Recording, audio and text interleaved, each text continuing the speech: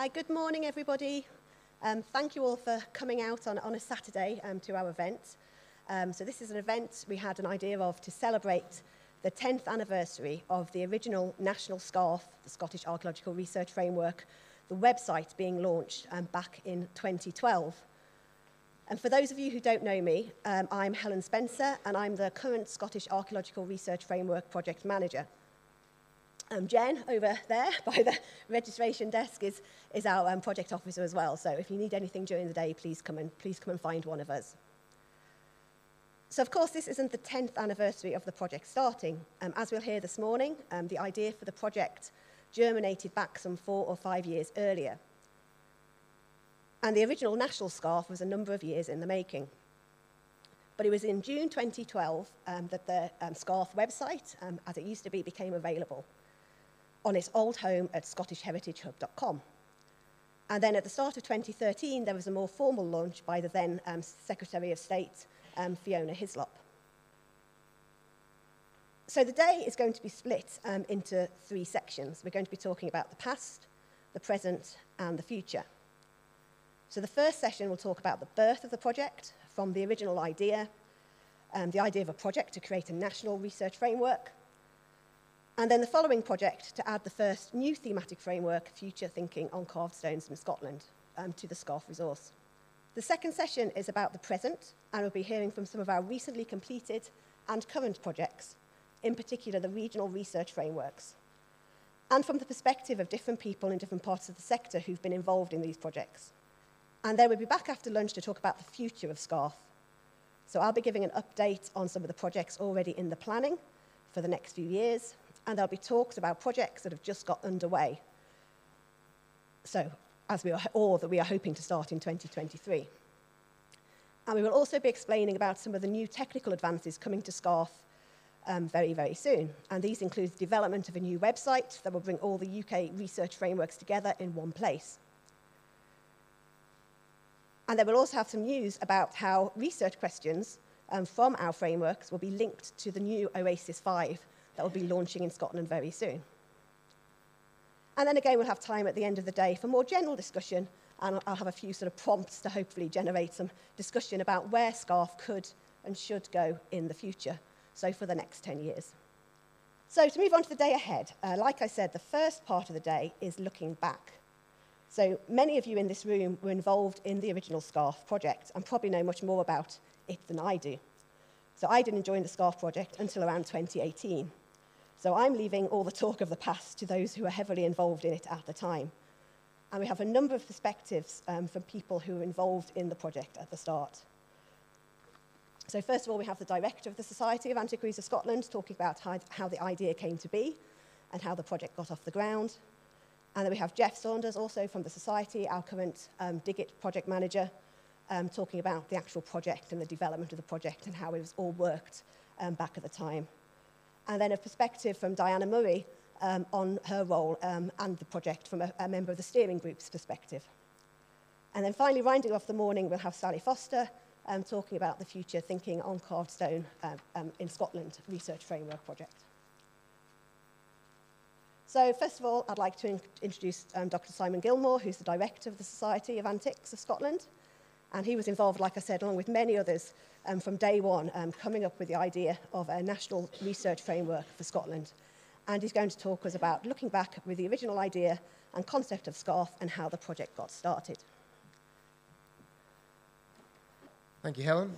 Good morning, everyone. And I'd just like to add my welcome to everyone who's turned up. It's fantastic to see so many of you here. Um, I've got notes because I didn't want to miss out some uh, important names and things like that um, in my uh, discussion. But um, I hope you'll uh, join with me in uh, celebrating 10 years since the launch of SCARF.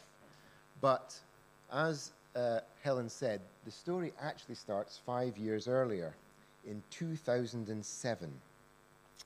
So um, I had just been appointed director of the Society, and um, with a desire to ensure the Society was at the centre of heritage work in Scotland. And I'll leave you to debate how successful that's been. Um, but SCARF certainly was crucial to help deliver on that thought. So discussions um, prior to me becoming director, and indeed that early period of being a director, um, Eve, uh, had made clear to me, certainly, a need, uh, a wish to develop uh, archaeological research in general in Scotland.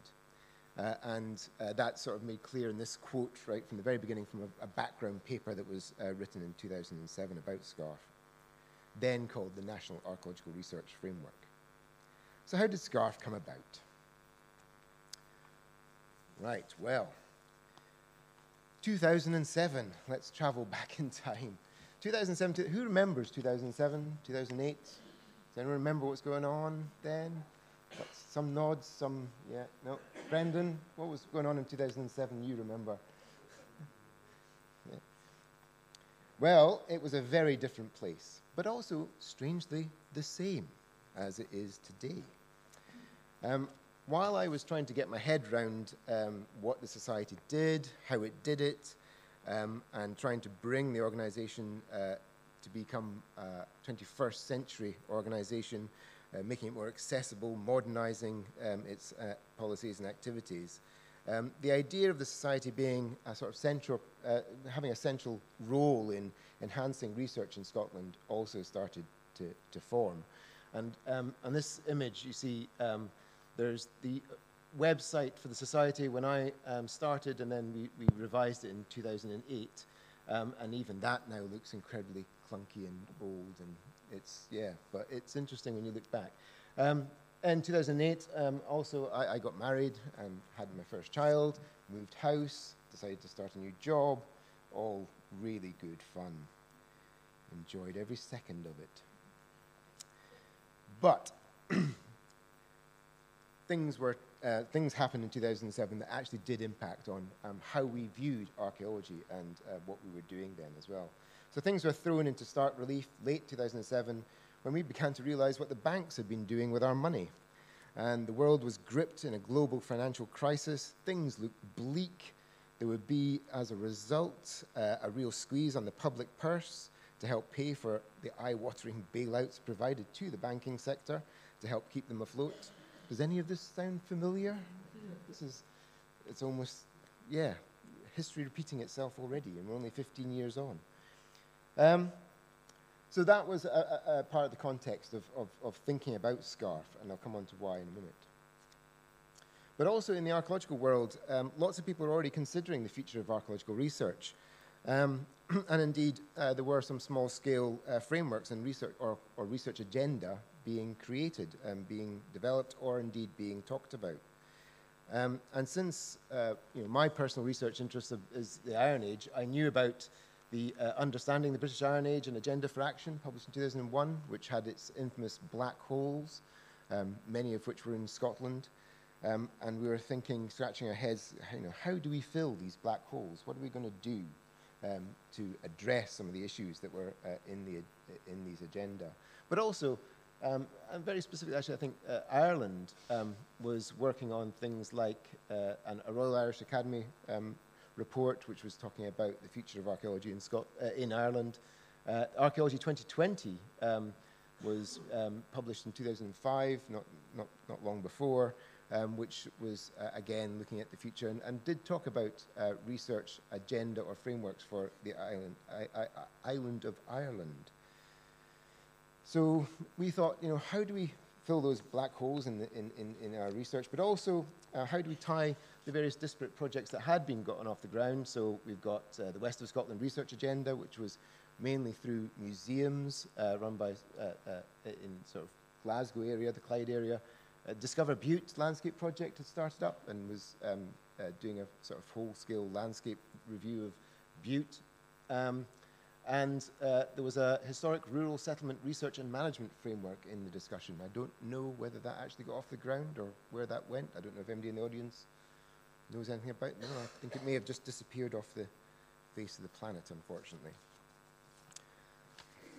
But our answer to this question came, as most good things should, over lunch. Roger Mercer um, was the president of the society at the time, and he and I had a rather long lunch one day, somewhere around here, but I can't exactly remember where. Um, and there was a fair amount of wine drunk at this particular meal.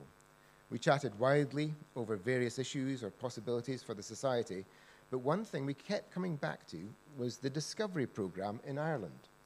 And for those of you who don't know the Discovery Programme, it was set up in 1991 by the then Taoiseach uh, Charles Haughey, and our late honorary uh, fellow George Eogan was a major driving force behind it. It was conducting large-scale desk-based and field surveys in Ireland. It was um, undertaking excavations uh, on sort of thematic and geographically located priorities.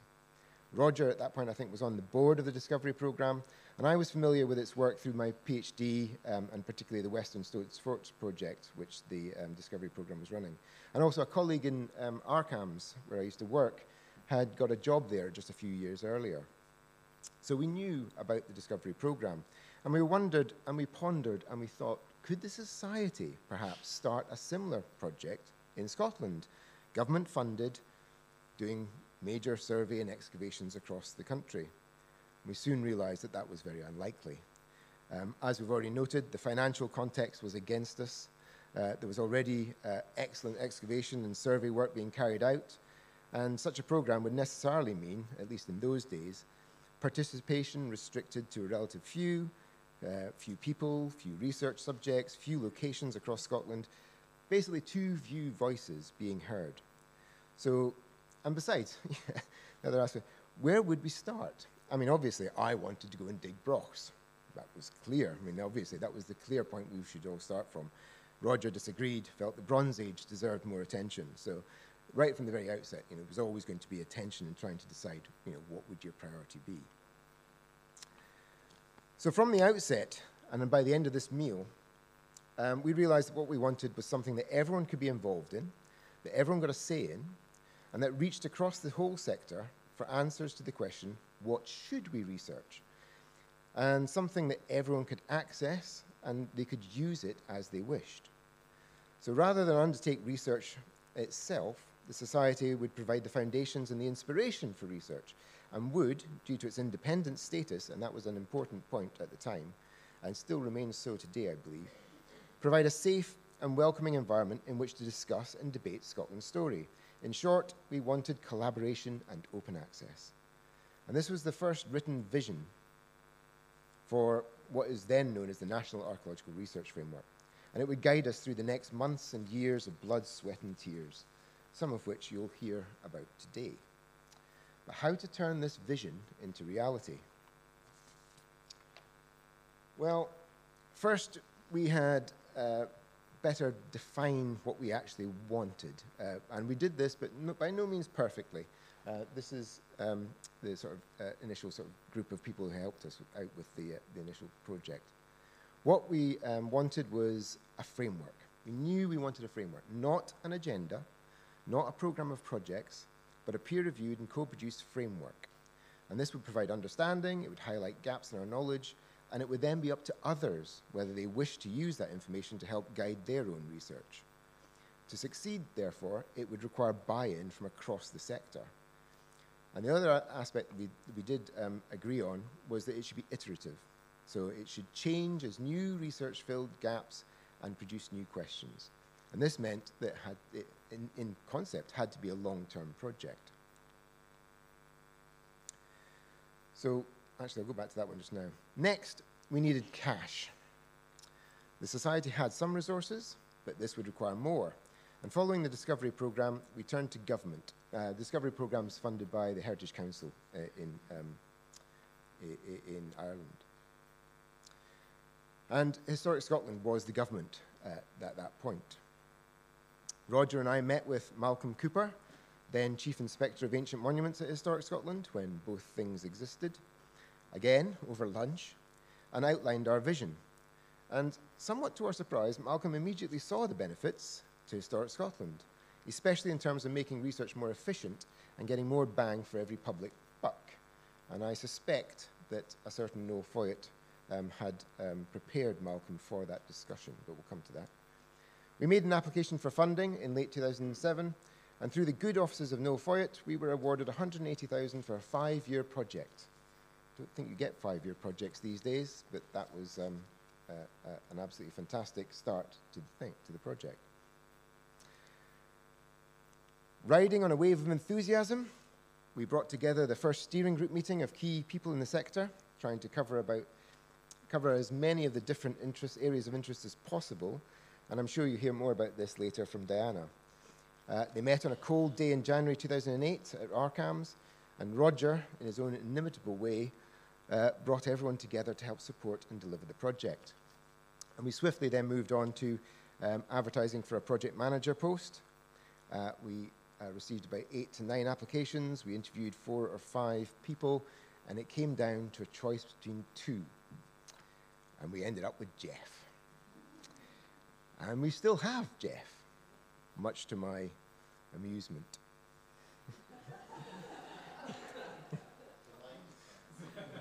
or delight. My many attempts to try and get rid of Jeff have failed over the many years. We still have him 15 years later, and you'll hear about it uh, later, uh, next.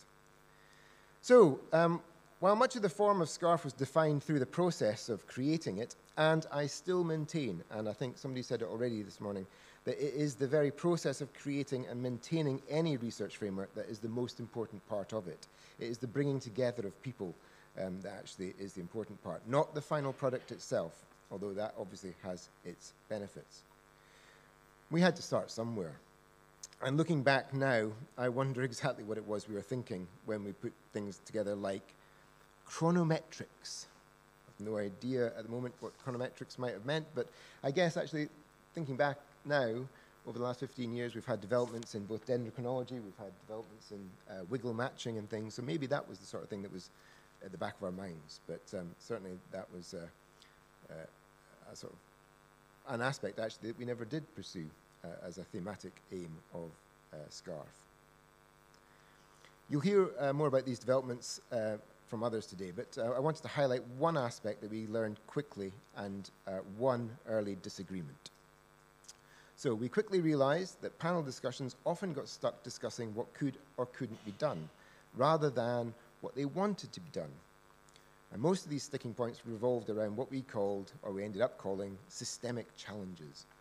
And while SCARF wasn't initially set up to address these, we began a file on them. And uh, what basically happened was we tried to take them out of SCARF and deal with them in other fora, in other areas. And the society agitated to address them in different um, locations in the sector. So um, it's one of the reasons why we end up with a Scottish archaeology strategy, for example, which now helps to address some of these systemic challenges that we, we recognised even then. This helps SCARF to remain focused on the story on the questions that needed asked and on the research and the aspirations for the sector. The disagreement? Well, Roger, bless his soul, wanted a book, and we differed on that. I did not want a book, and he instead, therefore, suggested a large lever arch file, the contents of which could be swapped out as required when research questions were answered and our understanding changed. So basically, the concept was that everyone who wanted one would get this lever arch file of SCARF, right? And then every now and again, the society would periodically send out new pages as SCARF was updated, and you would swap out your pages and you would maintain your uh, lever arch file of, of SCARF. I'm so glad we did not go down that route. So, with initial support from Historic Scotland, and in-kind support from other key institutions and individuals, SCARF was born. And it quickly grew support across the sector and beyond. And I am, and always will be, grateful to those who work and worked for SCARF, especially all those hundreds of people, I mean literally hundreds of people, who have given their time and continue to give their time and knowledge freely to ensure that Scottish Archaeological Research Framework is leading light in archaeology, not just here, but out with Scotland too. And I just wanted to point out that things have come full circle. So as we celebrate 10 years of SCARF launch today, we're presently, as we speak, working with the Discovery Programme to help them deliver a research framework for the island of Ireland. The end.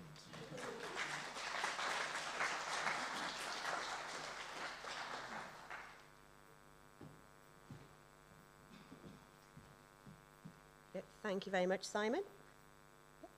Excellent. Yeah, and then so next I'd like to introduce Jeff. So as Simon said, was the lucky person who got to manage the SCARF project um, throughout. So he's going to reflect on um, the experience of managing, project managing the original SCARF project. Um, good morning, everybody. Um, it's really nice to see you all. Uh, my name's Jeff, for those of you who have not met yet. Um, and I was the original, um, the first uh, SCARF project manager. Now, can I ask you all to cast your mind back to 2008, the International Year of the Potato? now, as Simon said, 2008 was actually quite a tough year. Um, but I'll always look back fondly on the year of the potato because that was the year I was appointed as the SCARF um, project manager. And funnily enough, when I was thinking about this talk, it reminded me of my job interview. Um, squeezed into one of the small um, rooms in the society offices, I was actually faced with quite the group.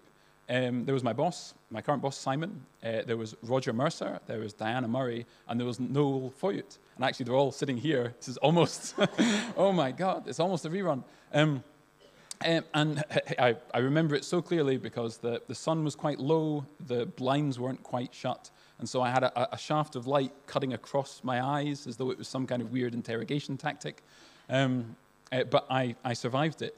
But it was actually something of a recurring theme in that throughout SCARF, I got to be in rooms and work with people who previously I'd only ever seen like on the, the, the, the their name on the side of a book or talking at a, um, a conference or being the author of a, a policy paper. Um, it was a real um, it was a real benefit for me personally to actually get to spend so much time with these folk who had kind of been blazing a trail in archaeology um, for, for so long. Um, the first order of business I had um, when I was appointed in April uh, 2008 was a change of title. Um, originally, as Simon had mentioned, um, it was going to be the Scottish National Archaeological Research Framework. We wanted to change that for various different reasons, not least because the acronym for that is SNARF. Um, and I don't know if anyone watched um, Thundercats when they were kids or as adults, obviously no judgment.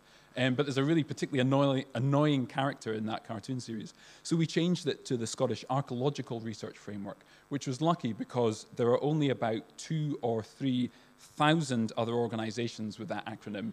Um, my, my favorite one being the Samoyed Club of America Education and Research Foundation.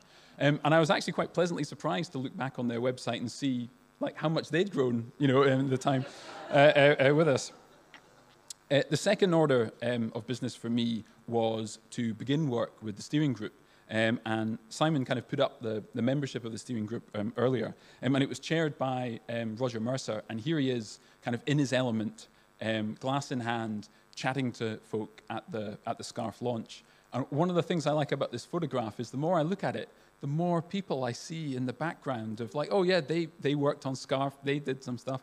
Peter McKeague is there, like just them, yeah, hidden away at the back. It's kind of like a game of Name the Archaeologist. Um, the steering group was very high powered. Like um, my job interview times, well, literally my job interview times four.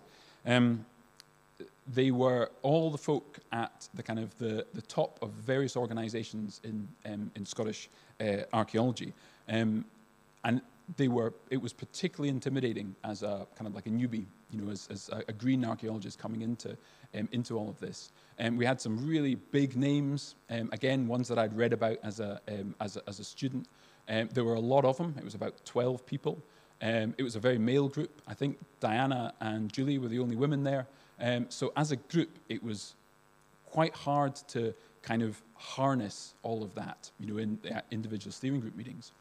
But as individuals, working with them as individuals, it was hugely effective. And kind of it, it, the thing that I reflect on most was just what a cool, fun job I had. I had access to all the people right at the top of archaeology who could open any door I needed. Um, if I needed staff support, um, if I needed a resource, if I needed anything, you know, they could make it, um, uh, they could make it happen.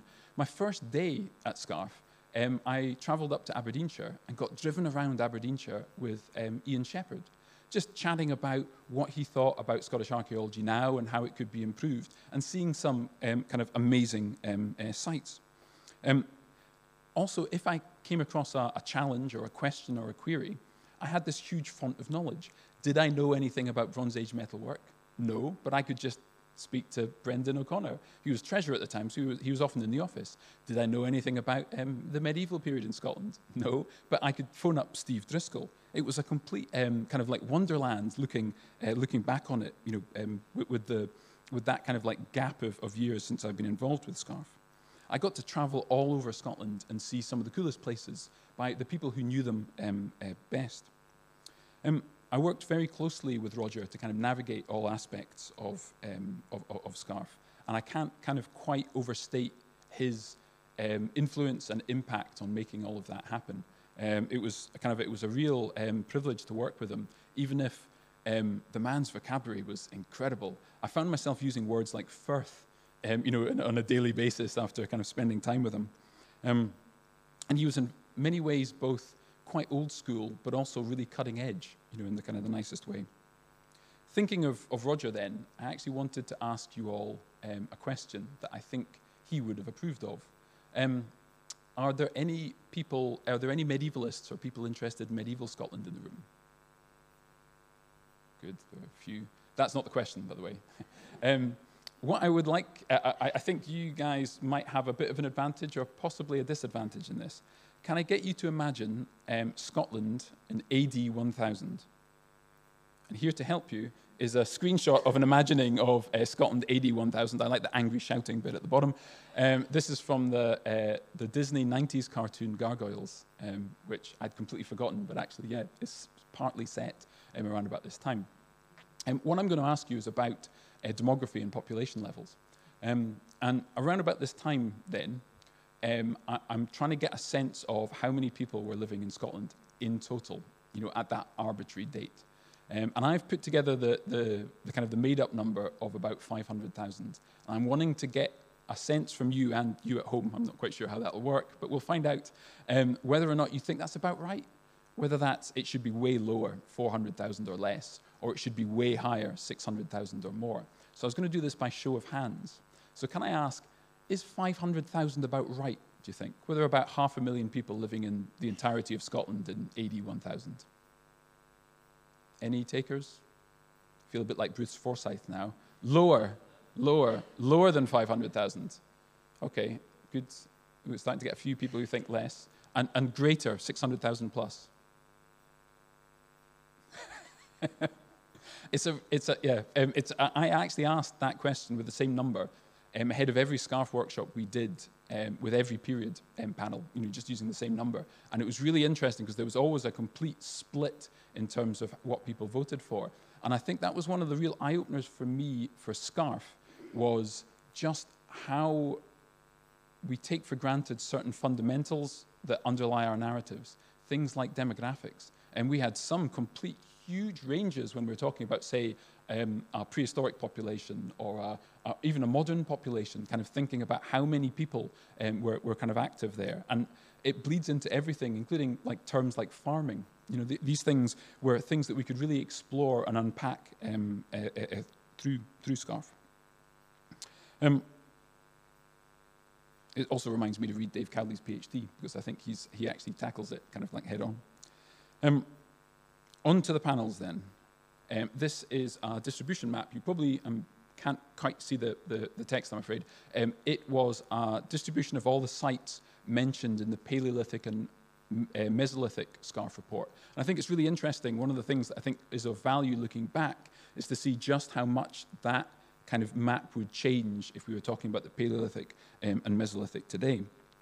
Try as we might, um, myself and the steering group, we couldn't really figure out a better way to divide up um, the panels than chronological. Um, we tried to keep the panels broad, we tried to keep them overlapping, and we had a couple of panels, Marine and Maritime and Science and Scottish Archaeology, to try and kind of work cross-period and pick up um, kind of recurring themes. Uh, the steering group identified a couple of people to um, co-chair each panel, um, and the co-chairs were left with the task of actually assembling the panels, um, getting people in to write different um, sections of the report, discussing the issues, speaking at, um, at workshops, and interacting with a kind of a much wider sphere of critical friends um, who also gave comment, wrote sections, um, and we also employed early career archaeologists to undertake specific pieces of work uh, that the panels kind of identified as important. Um, I should stay, say at the outset, the co-chairs did loads of work, um, and I got to know them all really well, and hopefully as friends uh, rather than mortal enemies, but I wouldn't blame them. um, that it, was a, it was quite an intensive process. Um, all in all, it was a lot of people producing a lot of work primarily for free. Um, we started with a medieval panel. Uh, feel free to cheer if the medieval period is your favourite period. Yeah, there we go. Chaired by, uh, chaired by Mark Hall, chaired by Mark Hall and Neil Price. Um, and this was actually the first, the first panel we had, and we hosted the first meeting in the then historic Scotland building, uh, Longmore House. And I wore a suit and tie, and never again, because I think most of the panel thought I was some kind of like government agent. Um, uh, but it soon picked up um, after that, and actually I ended up loving the, the medieval period. It was a period I knew nothing about um, uh, uh, uh at the start. Um, the Paleolithic and Mesolithic panel, again, please just, just cheer if you like. Um, the, yeah, there, we go. Uh, the, the, Paleolithic had recently been discovered in Scotland, um, which was quite handy. Um, and it was chaired by Alan Saville and Caroline Wickham Jones, who are both sadly um, uh, no longer with us. Uh, the Neolithic panel, uh, which was chaired by Kenny Brophy and Alison Sheridan. Alison's over there, yay. Hey, thank you. Um, that was probably the one I was most starstruck by in that I'd studied this um, period. And this was also the first period that um, people tried to poach people from that period. Um, Alison was definitely one of those people who other panels kept, kept on trying to kind of lasso and, um, and drag into their periods. Um, we had a, a Chalcolithic and Bronze Age panel chaired by Jane Downes on her own, which seemed kind of unfair but I think um, at the time, everyone thought there wasn't much in the Bronze Age. But around about 2008 was kind of when everything was becoming sucked into the Bronze Age. You know, hill fort dates um, at one end, um, henges, whatever they are, you know, at the other. Um, so Jane had to do a kind of a power of work. We had a modern panel, um, which had a huge remit and was chaired by Chris Dalglish and um, Sarah Tarlow. And I was completely starstruck by having uh, Sarah there. I was a huge fan of her work. And they had to grapple with a modern period and not divide it into like industrial archaeology and all of the other subsets that kind of would have been very tempting and easy to do. They made it about what archaeology can contribute to big scale changes and questions like the Reformation, industrialization, empire, etc. Um, we had an Iron Age panel uh, chaired by Fraser Hunter and Martin Carruthers. And it reminded me actually of um, probably the gold standard for conferences I've ever attended was up in Orkney, the Scottish Iron Age Matters conference, which we attended soon after um, we started this panel. Um, and it was sponsored by a whiskey distillery and an ice cream manufacturer. Um, I've just never had a better discussion session uh, in a conference. We also had a Roman panel, um, also chaired by Fraser and Martin. It was quite closely connected to the Iron Age, of course.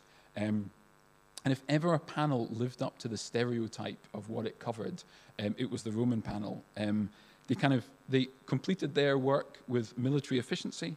Um, they tackled some of the, the issues they had head on. They actually produced a table of key, um, key sites that had not been published, including by many of them, and then started leaning on people to get them done.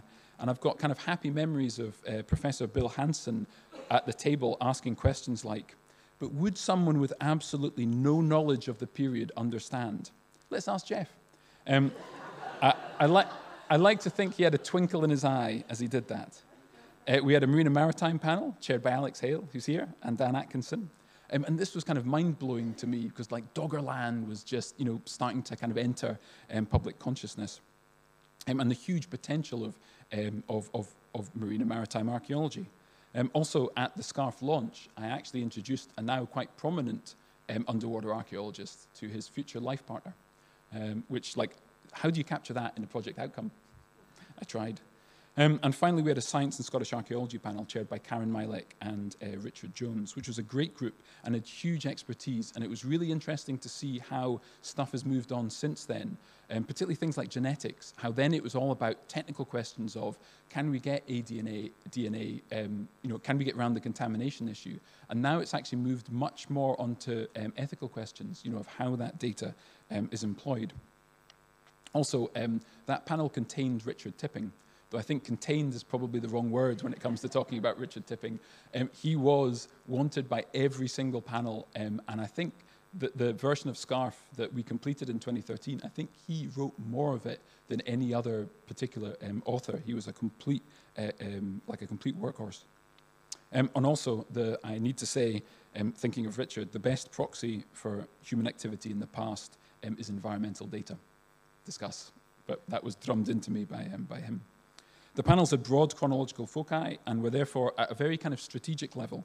Um, and it's really cool to see much more of the, the regional and local story and the richness of that being brought out you know, in current SCARF.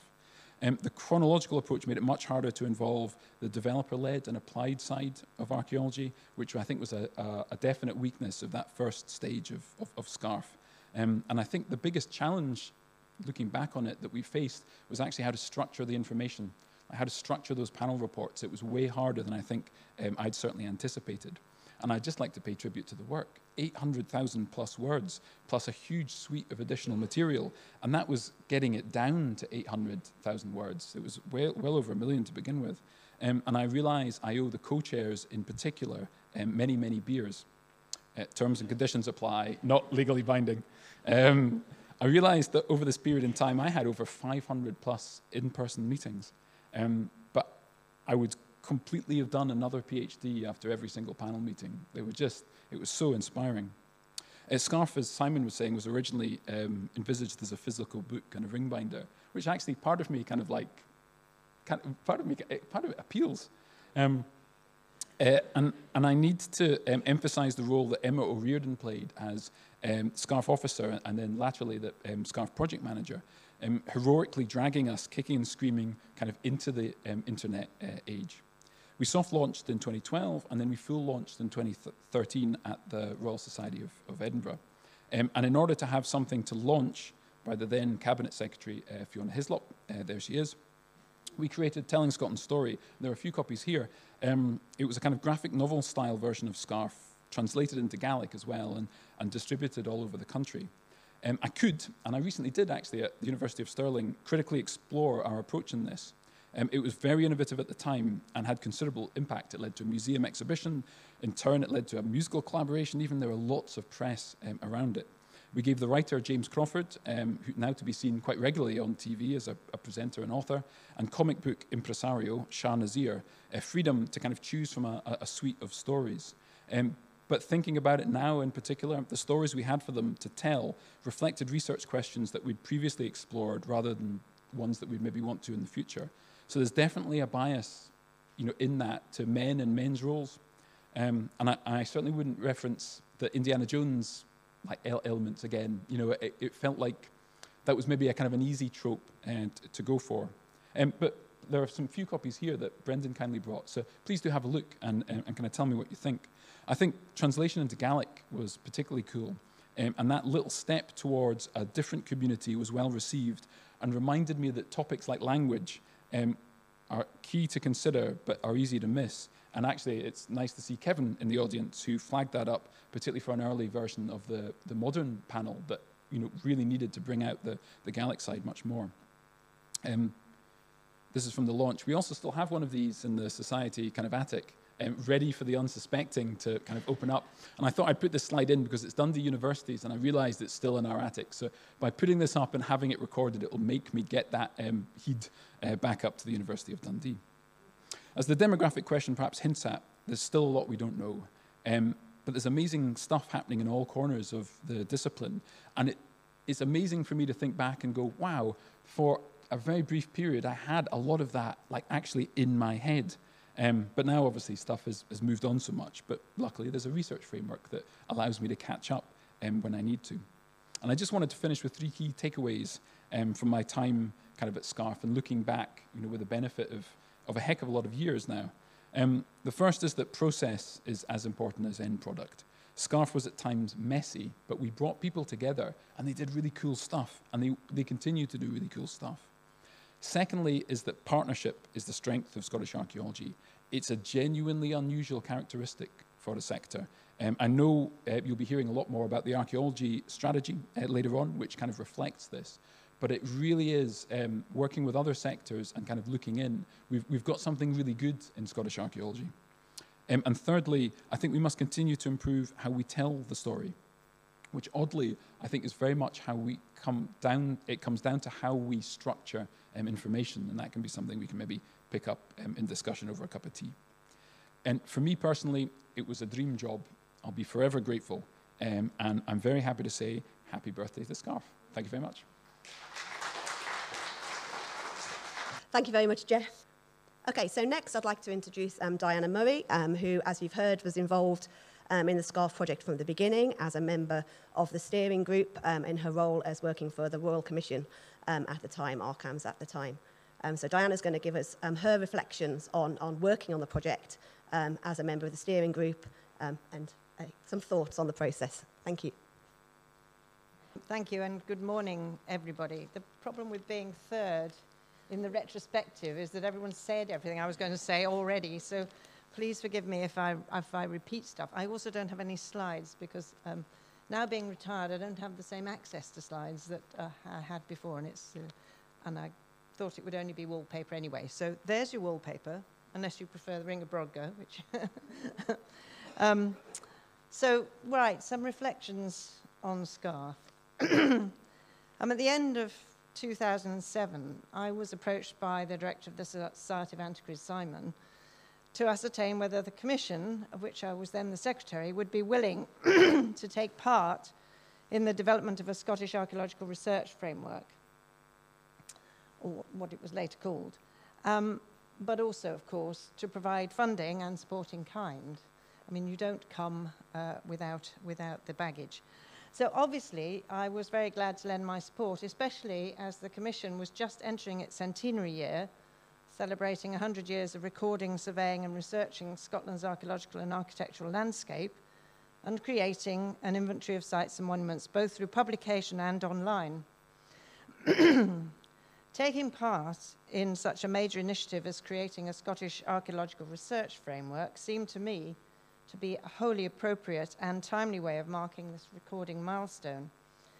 Um, it would also give us pause to assess whether our own strategic work programme was meeting the sector's needs. Excuse me.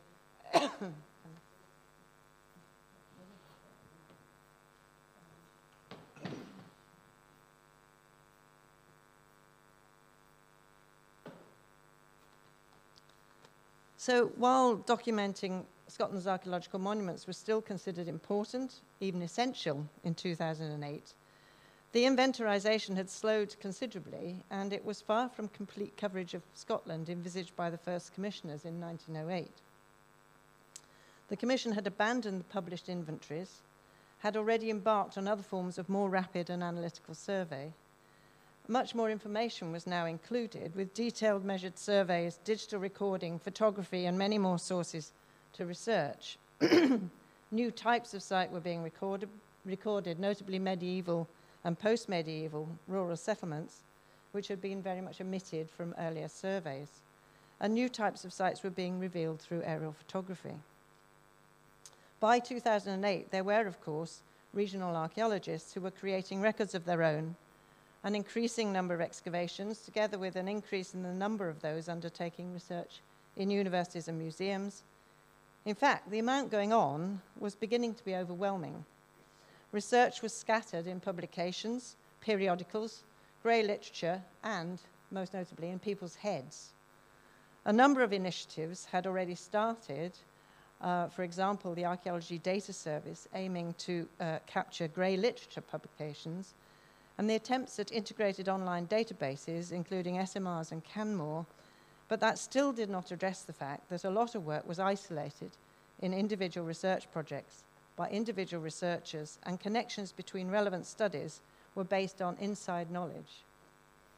So, impressionistically, I think there was a feeling that there was a loss of knowledge out there, but information and intelligence about what sources were available and what was most relevant was really getting away from us. Um, um, Simon mentioned the initiatives that were going on elsewhere, which we were aware of, um, but we beginning to think we needed something ourselves. Planning a commission survey, research in university or museum or in historic Scotland, trying to prioritise which worthy projects to fund, there was no clear guide on what or where the present gaps in information or most rewarding opportunities were to be identified. So, coming up with the idea of creating a research framework for Scotland was an initiative which I think a number of people, including myself, laid claim to. Um, Simon's already mentioned uh, that he thought he laid claim to it, and uh, Roger obviously thought he did as well. we were aware of the research frameworks that had been developed in England and Wales. The latter I had a small involvement with. We asked ourselves whether we could develop something similar in Scotland, seizing that familiar opportunity that it was still possible to develop something at national level in Scotland. And we wanted to contrast that to the situation in England and Wales, where the research frameworks were more local and each was created using their own set of criteria, meaning that it was very difficult to, underta- to undertake cross geographical analysis. I remember having long conversations, probably over lunch as well, on the merits of building an archaeological research framework with Roger Mercer, formerly my boss at the Commission, and by then president of the Society, with Simon, our director, with Malcolm Cooper, then Chief Inspector of Historic Scotland, with a number of regional archaeologists, and with staff of the National Museum and Edinburgh University. These were all casual conversations, but uh, intense, uh, and uh, as Simon said, kept coming back to this idea of a framework. So, who thought of it first is anyone's guess. But the key thing is that we were all pushing at an open door, and we caught the moment when everyone saw the need for and the value of such an initiative, and everyone was prepared to put their shoulder to the wheel to make it work. Critically, the Society stepped up to host the initiative, which was a shrewd move. At a stroke, it neutralised any potential competition or bias. Historic Scotland stepped in with the bulk of the funding, initially for five years. Well, those were the days. Um, Historic Scotland could see the real value for themselves in having a framework that was created and owned by the sector on which they could base investment decisions. The potential was also obvious to other players as we all had future programs of work to plan for and being able to demonstrate that such a program would address a gap in knowledge and maximize the use of limited public funding, which was getting more and more pressured, is a powerful and a very valuable argument. As most of you know, I spent most of my career attempting to create an online resource, Canmore, that would open up information about the historic environment to everyone who needed it or wanted it. Using this resource, it is possible to see the areas where there are gaps in data and where data needs updating, but it's not comprehensive, then or even now, and nor does it contain the analytical tools necessary to identify or document the state of research in any one area or significant gaps in our understanding of the past. It seems to me important that if we expend public finances on archaeological investigation and research, then we have a duty to target that money appropriately, as well as making the results widely available to other researchers and to the public.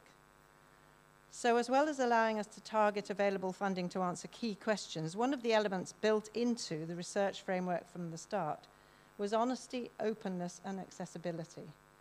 This premise has gone on to make the Scottish framework distinctive and most useful to seasoned, seasoned users early researchers, historic environment managers, and the interested public alike.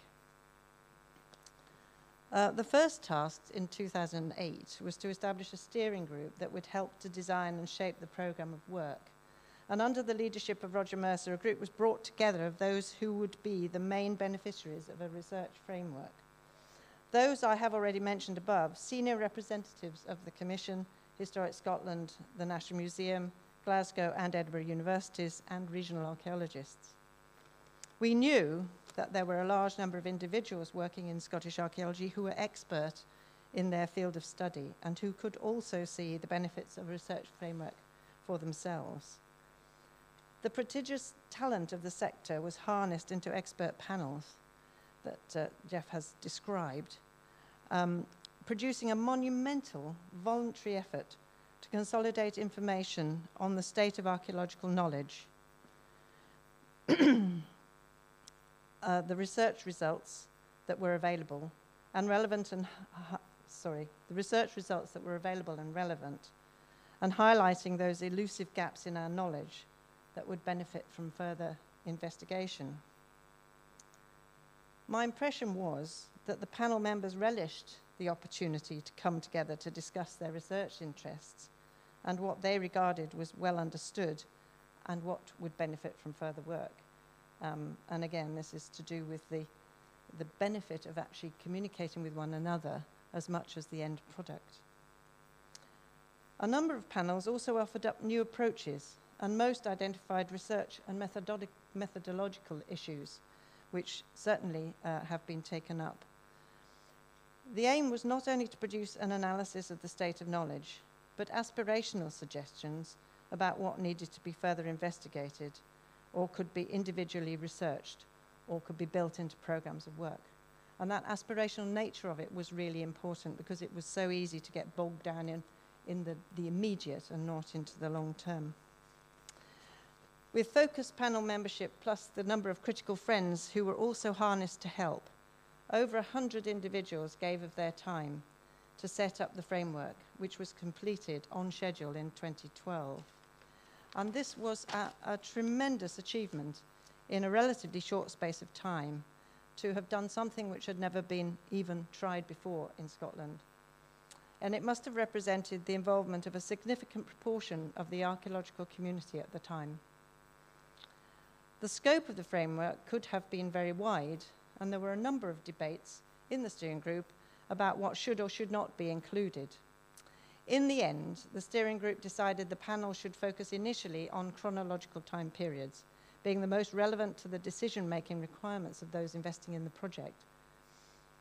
We appointed a very talented project manager, Jeff Sanders, who galvanized the panels, helped with their administration, kept their discussions structured with tight briefs and timelines, and helped them to put the documentation together, wielding the whip uh, uh, with all the panels so that we actually did produce something that is coherent uh, and manageable uh, and produced on time.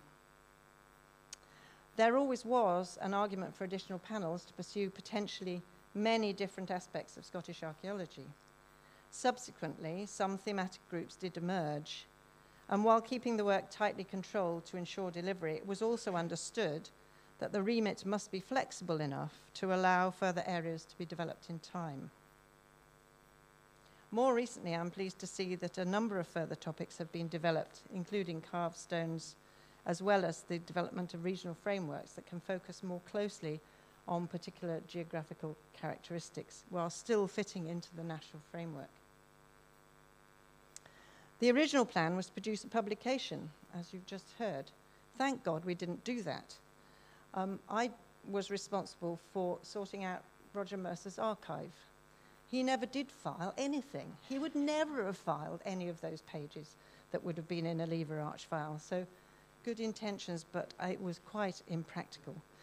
So um, the Commission had the skills and were initially able to help in kind with the development of the website, which allowed easy cross-referencing and linking. A website is, of course, much easier to update, and as a result has become a very rich and interesting site, a go-to for research resource. But technology moves on, and what seemed dyna dynamic 10 years ago may appear rather static today, and there are all sorts of ways that, you know, uh, wiki ways and googly type search ways that, uh, that could be applied today that would make it a lot more usable. But it's a mark of its success and value that the Society has been able to update and further develop it. Um, an ongoing commitment which we mu must not let drop. And it's not just a catalogue of what we know and don't know, it contains analysis and references and makes those links and connections that were so hard to do before.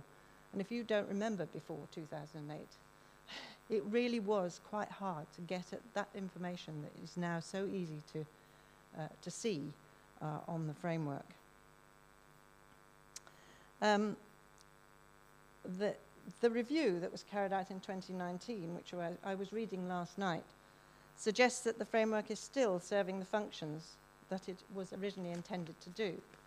But of course, there are always ways to improve things, and this is probably your job now. Um, and it is important that we keep on improving. The framework has been used to inform, for example, the archaeology strategy, published by HES but contributed to by many in the sector. Um, the regional frameworks are clearly of value, and there is momentum to continue to add themes to the framework, which we shall hear about later today. Um, what I cannot judge really is what impression SCARF has actually made on the state of knowledge and the targeting of our research programs. Do we know more as a result of SCARF, or do we just know more because we're doing more research? But my impression is that it is making a difference. And the need for SCARF seems as relevant today as it was 10 years, even 15 years ago. Um, the massive amount of information held there is a testament to the state of archaeological knowledge in Scotland, as well as the willingness to come together and share our research interests. So happy birthday, SCAR. Okay, thank you very much. Um, and then the final speaker of this first session today is uh, Sally Foster um, from the University of Stirling, and she's going to be talking to us about the future thinking of carved stones in Scotland um, framework, um, which was sort of the next sort of, I suppose, framework to be incorporated into the SCARF project, although she's going to explain a bit more about how all that came to be. Um, so um, over to Sally. Yeah, no, thank you very much. And yeah, we were the next framework to come into being, and um, uh, we're in the past section of, of SCARF, but I'd like to say we're actually very contemporary, and the key word is future in the title, and I'm hopefully going to demonstrate some of that, some of that relevance. So thank you very much for having me today to talk about um, our project. So it's my pleasure to tell you about what's transpired to be, I'm told, the most popular of the thematic scarves. And I think I'm, I risk being immodest, but I think our framework is also unique internationally, I believe, in terms of its approach to how we designed it to make a difference on the ground. And what I want to do is to give you some sense of, the, of its character and reveal some of the impact it's been having as a result of the approach we took and the importance of carved stones to past, present and future societies. So here we are, we are the lead authors, um, sat in one of our workshops in, excuse me, in 2015. Many other people acted as critical friends, produced case studies, or contributed to the text. But I think I speak for all, our lead, all the lead authors when I say that producing this framework took us on significant and even career-defining intellectual journeys. So we come back to that process point. Working as a team, we rehearsed and found a common way to articulate what we know about carved stones, where the gaps are and why, and how, through future research, we can make a difference that matters to society as a whole. So future thinking was born when I was chair of the National Committee on Carved Stones in Scotland. And some, some people in this room are also uh, members of that committee or, and were on the committee at the time. As a committee, we identified a problem that we wanted to solve, which we articulated as general underappreciation of the significance of carved stones in Scotland and the threats to them. So we, we analysed this and we came, we came to the we, we, we, we, drew out that we saw our purpose then as being to promote an increased awareness of the interest and value of carved stones and improved handling of their needs for wider public benefit. So we, we, we identified we therefore had a purpose, we had an issue, therefore we had a purpose, and we identified as a committee uh, producing a research framework as the way to achieve this. The Universities of Stirling and Glasgow successfully obtained a Royal Society of Edinburgh workshop grant and led the projects. That was Katherine Forsyth and myself. And the National Committee on Carved Stones obtained funds from Historic, might, might have been Historic Scotland in those days, I forget now, HS or HES, to support a public workshop as part of the framework design. And the Society of Antiquaries invited us to, oh, I realise I don't know how to move this cursor. Um, sorry. Um, I need to be able to read my text.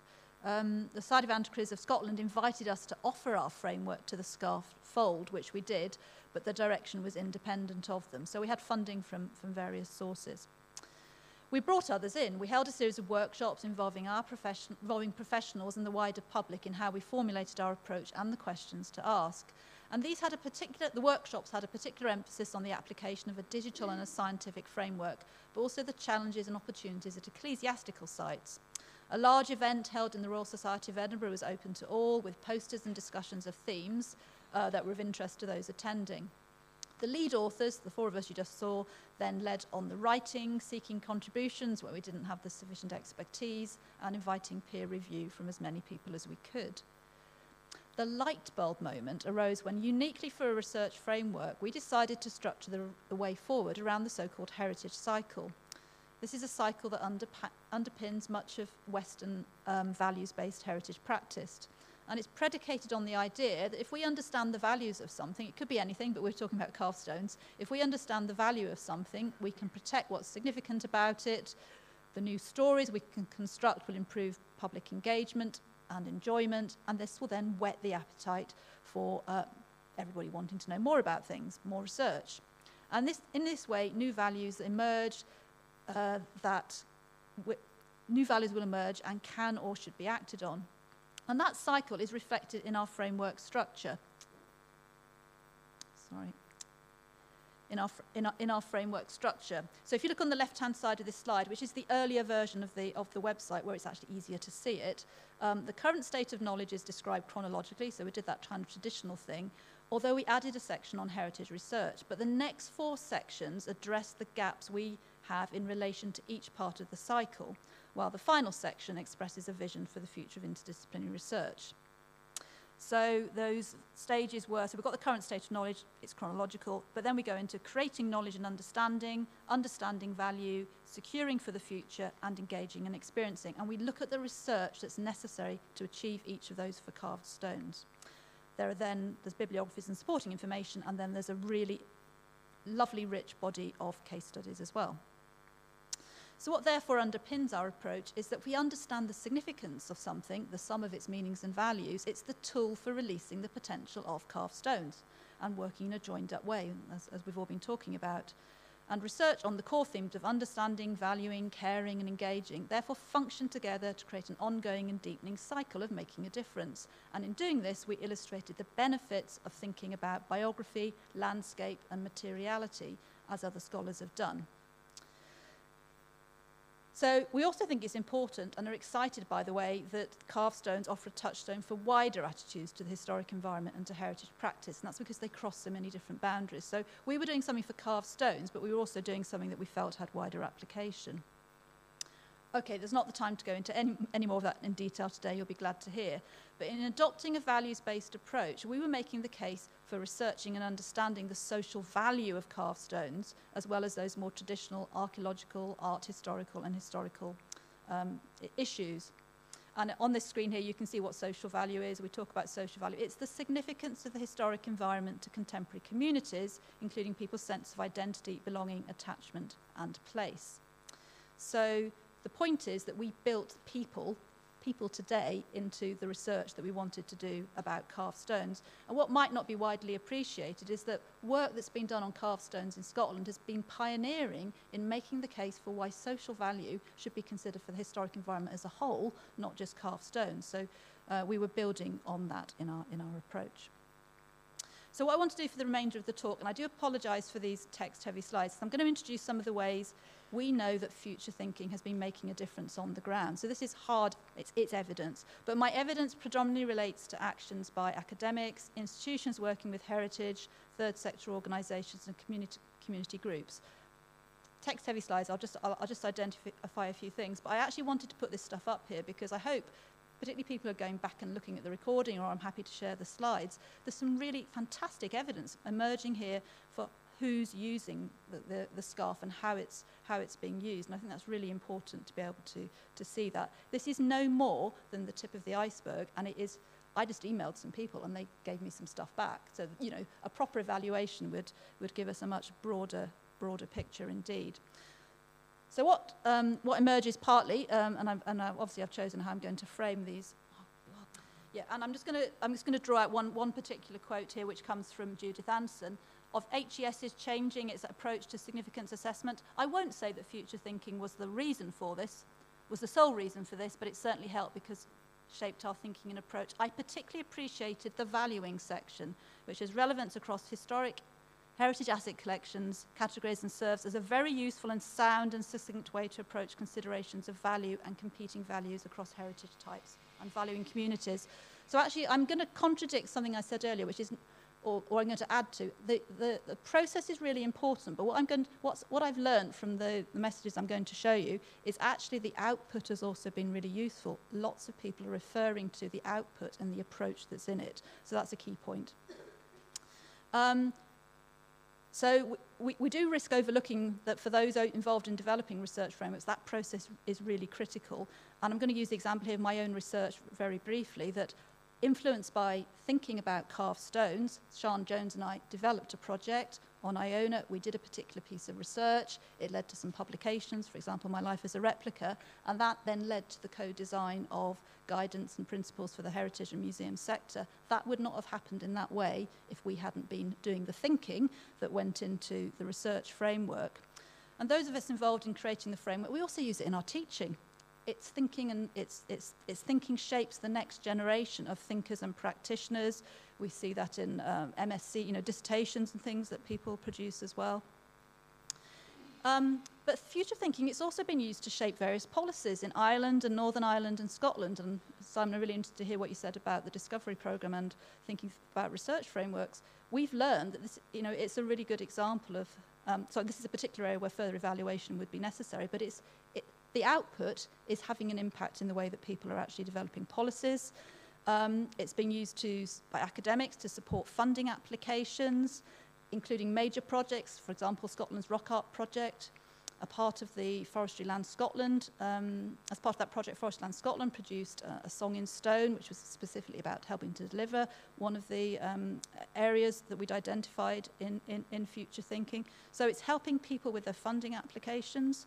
Um, It's also, with its values-based approach to releasing significance of car stones, it's been used in Scotland and Ireland, this is just the evidence I have so far, to inform casework, particularly the production of statements of significance for carved stones. And just to quote Judith Anderson, former Senior Cultural Significance Advisory Historic Scotland, I recommend it as a guiding text to people within and outside of HES who were attempting uh, significance assessments or were trying to think around the principles of value and evaluation. So it's, it's being used not just in relation to carved stones, it's being used in much wider ways. And as she says very kindly, it's got very few competitors in this important field.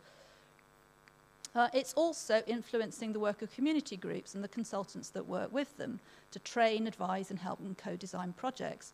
And I'd flag up here the comment from Pauline Gleeson of the National Monument Service of, of Ireland when she says, I've also referred numerous other heritage groups concerned mainly about carved stones to the document, mainly on our commun community monument fund It's often asked in terms of community projects, how do other jurisdictions deal with these issues?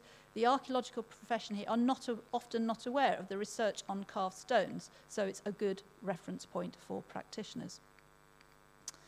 Now, in terms of the way forward, I put up this very lengthy quote here from um, Tomás Ó Carragáin, but it's a really good example of where a major project, this case in Ireland, has been shaped in a really major way by the sorts of approach that we've got in, in, in, in the scarf, he ends up, I have no doubt that researchers across these islands and beyond will continue to draw inspiration from future thinking in the years to come. So the output there does actually really matter.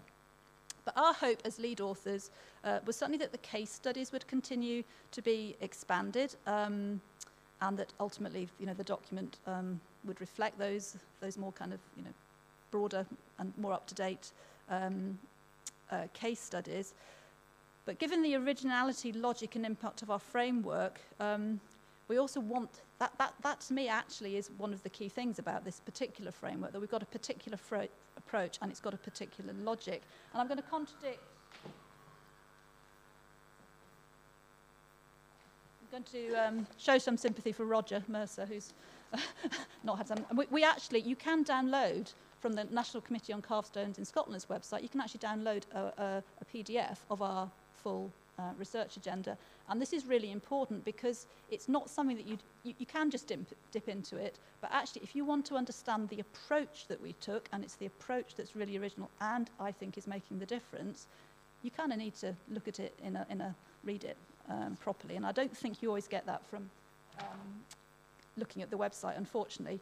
Um, and we did produce a, a limited edition popular summary, but that, that's, that's no longer available to people apart from online, which I think is a, is a real shape pity. So there's lots of ways in which going forward this um, research agenda can be revisited, but I wouldn't, personally, I wouldn't do it too soon. I think what's important is the approach that's there. That approach is, is, is of value long term. We made some recommendations, but you know, other, other ideas will emerge and they're, they're just as valid. It doesn't matter that they're not actually mentioned in the research framework the approach is, is what's really critical and that I hope in, in a way is going to be our legacy. But what we actually want is projects where people are doing work on carved stones. And I think it's, you know, we're seeing these great examples in Ireland where people are actually drawing on, on, the, on the scarf. And I'd like to see more explicit use of the scarf in major funded projects in Scotland, such as the Wonderful Scrap project.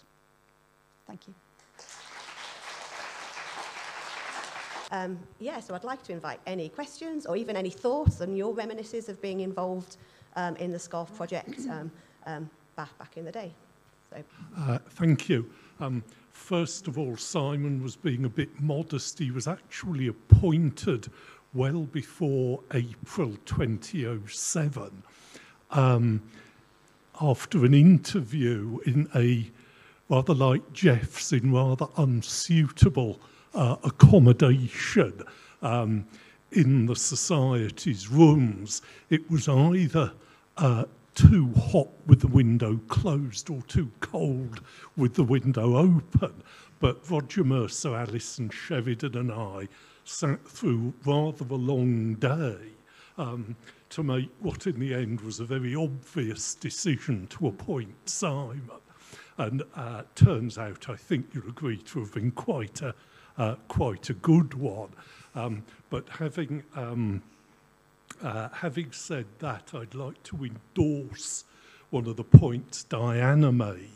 And in relation, I can be indiscreet because he's over there, to Noel Foyot, and I suspect probably also to Rod McCulloch, uh, who is perhaps not, is he here? Yeah. Yes, yes Rod, Rod, Rod, who's here as well. In that one of the big things about Scarf is that it was something that we were able to go to ministers and say, look, this is something somebody else has done. In effect, I mean, formally the society, in effect, the whole archaeological community instead of the usual thing ministers get is people coming to them and saying, please do this, that, or the next thing. And after the first meeting of the steering group, which I can remember nothing about, I was there purely ex officio. But what I can remember is when I was waiting for the bus on the way home, Noel walked past me on the way back to, to uh, Longmore House from Bernard Terrace and explained this. He was really chuffed because he had got what he wanted. and the amount of money involved, essentially Jeff's salary plus um, travel expenses, was on a, certainly on an annual basis uh, tiny in relation even to a body like Historic Scotland and what would have been able to make it uh, disappear in the roundings, as the, uh, uh, the saying goes, as these things. And eventually, of course, we were able to present the minister with something, with something tangible. Um, but I think that's, uh, that's a point that is worth um, uh, bearing in mind, given that uh, uh, a lot of things have changed in this relatively short time, and it's going to be even more difficult to get money out of public bodies to do useful things uh, like SCARF. So uh, apologies for, uh, for going on. thank you. Thanks, Brendan. I just wanted to say thank you very much for the very kind words.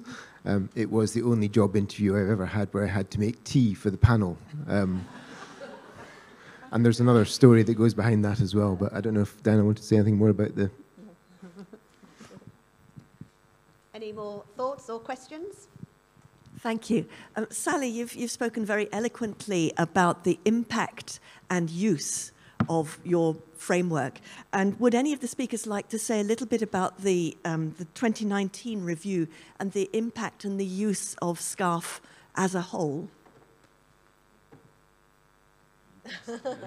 Probably Helen. Well, I'm, I'm going to say a bit more about that in the probably the session just after lunch when we're looking to the future, because a lot of the um, part of the review then has informed what we're going to be or trying to be doing um, in the future. Um, so yeah, so we did, um, yeah, it was a very positive review in terms of um, people using it and the quality of information. Um, but obviously it brought up a lot of things that we all sort of know in a way in terms of it needs to be kept relevant, it needs to be kept more relevant. I think um, we spoke about the, the old website and there was an intention that it would be more iterative and it would be updatable and you know it would keep fresh and I think it, it, that didn't happen as well as well as could have happened. Um, so we do have sort of various plans for the future to try and make that work a lot better with our new website, um, and particularly with linking to the way we're going to be talking about how um, archaeological work is reported and how that will come back to SCARF. So as work is done, we will automatically get to know about it and then be able to update SCARF itself. So, um, so yeah, I will be talking a wee bit more about that after lunch as well. So. Uh, it reminded me as well that though at one point we actively looked at putting Scarf on Wikipedia rather than reintroducing yet another wiki style um, uh, uh, platform. Um, just stick it all on Wikipedia. But I can't we decided against that in the end. I'm glad we did. Thank you. Um, I, I might be the sort of uh, I, I, sort of I don't disagree, but I think we need to bear in mind that SCARF is not the last word in anything. It, SCARF has come together because people who gave a lot of free time, some people were employed, majority of us gave our free, considerable amounts of free time to produce these documents. And they do not claim to be the final word in anything, but they, they set a tone, they set an approach. You know, something like the Carved Stone one is very much about an approach to a resource that you could apply to anything actually. We chose to apply it to carved stones. And it's having that knock-on effect. You know, we talk about principles, problems, practice, um, what, some ways in which existing projects could be enhanced. We do identify some new projects going forward. But we, we know this isn't the, the final word. And we do not want to cramp the style of other people who come up with really good ideas, absolute, just because it's not in SCARF. And I'm not sure that SCARF necessarily needs to be reduced. It, need, it needs to be, we need to be aware, you know, people are using it, you need to use it in an intelligent way. And I think there's, there is a question about where there is, for me, I think there's a question about where do we put our resources? Do we put our resources into more research that does some of the things we've talked about SCARF doing? Or, or is there a risk that we think SCARF is the answer to everything? I don't think SCARF is wonderful. And I'm not, I'm not trying to be dissent, but it, it's not everything. There are things that go around. There are activities that need to take place in the sector that contribute to the environment and then will feed their way in some due, you know, due, due means back into SCARF.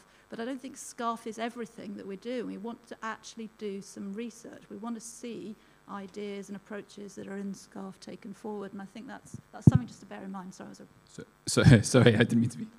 um, and kind of, I suppose, building on that, just the sense of creative messiness that I think um, the sector is very good at. And it's kind of reflected a little bit in SCARF too, in that I think I remember after that first steering group meeting that Brendan was talking uh, talking about that I attended, I don't know if that was the same one necessarily, but I remember um, Noel just saying the most important thing is that it you have a version of it that it gets done. So more than anything else, it's that it gets done. And actually, that is a, a handy thing in that there's something there for people to either build on or argue against and say, "Oh, hang on a minute, you've not thought about this. You know, this is really important because it's you know, and it's not covered." So it was very much to provide a structure that people could you know knock around, build on, knock down, and and, and, kind of rebuild. Um, yeah, I think a number of people have said it, but it's it was the process of doing it that and if we go on doing those processes of getting people together to talk about the, the issues, which is, I think everybody's made that point, I think that is the way that we, we progress, progress things. I do like your, your framework. I think that's your... We are right about the process, but nobody in Ireland was, or very few people in Ireland were involved in our process. It's the fact that it's out there and it's an exemplar, it's a model, and that it fills a gap because nobody else has done it. Um, means that it's actually having impacts that perhaps I didn't appreciate until I sent around a few emails to a few people I, I knew and then a, a bit of it. So it's not, it's not a proper evaluation. I think when we come back to the discussion this afternoon about evaluation, who are we asking about what impacts we're having and how are we, what are we actually doing to make the stuff have an impact, which includes the approaches we've taken, not just the ideas that, you know, the, like do something with carved stones or whatever.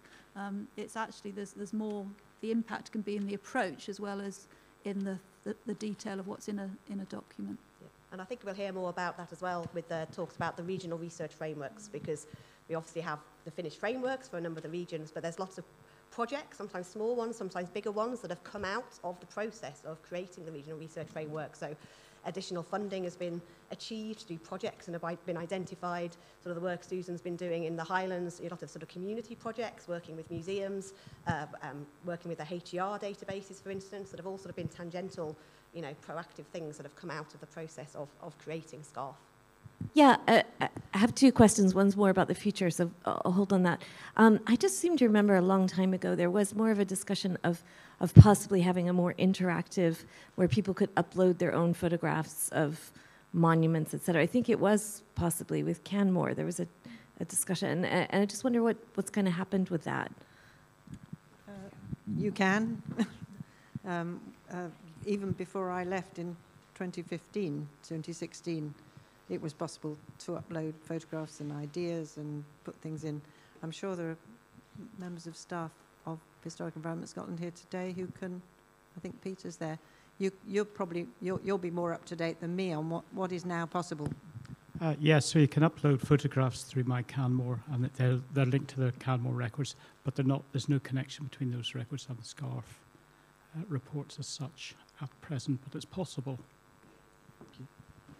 Uh, to go back to Alison's question, I think the biggest outcome of the recommendation was getting core funding for SCARF from HES for another three years, was it? Four, well, four, Four. years, so three and a half years left, but yes.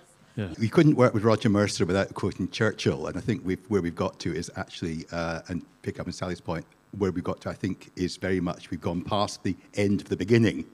We're now probably into the beginning of the next phase, but there's clearly a huge, long way to go. And it was certainly clear when everyone set this up that it was going to be a pretty much a permanent dialogue, not an end product. Uh, and I'm just glad to see how it has survived all these years uh, when all, a lot of the original people have moved on to other jobs or other places or other, other realms, that we're still actually engaged here with such so much life uh, in the process and looking at new ways to give it even more life and, and more value. So congratulations. Hello, and this is definitely a, a reminiscence. Um, but I think I was involved in some in the modern panel, and the reason was that I was a master's student for Chris Dalglish, who was obviously leading it. So I was roped in to make notes or something, and found myself in this hall full of very august people, and I was so ignorant I didn't even know they were august. So they were obliged to they were obliged to listen to my stultifyingly ill-informed opinions. Some things have never changed in that regard. But so I think I think I was actually the youngest named contributor to Scarf. I was 22, 23. So that was quite an amazing experience for me, and because of that, I feel a strong sense of ownership and connection to SCARF, and I've encouraged my own PhD students now to reference SCARF in their conclusion, and of course, so excited to see what happens with it because it feels like it's been an important part of my career as well. So I think one of the things I'd, I'd encourage everyone involved in SCARF in the future and regional research frameworks that obviously you want the most knowledgeable, most um, experienced people involved in panels, but it's very important to get undergrads early career people involved as well because they will be uh, taking forward those recommendations. And if, if you get them involved, they'll have that sense of ownership. Um, but I will say, um, everyone was always very polite in listening to my nonsense, I must say. I was never made to feel uh, unwelcome or, or patronised, and I was very grateful for that. I didn't know that we were being regarded as such stellar individuals.